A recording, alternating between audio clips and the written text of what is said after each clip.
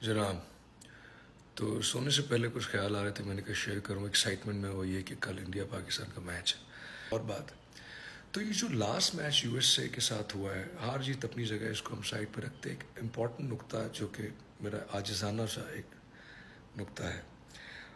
वो ये कि जब आखिरी ओवर आया तो बाबर ने, बाबर खुद बैट करने नहीं आए। उन्होंने किसी और को भेजा।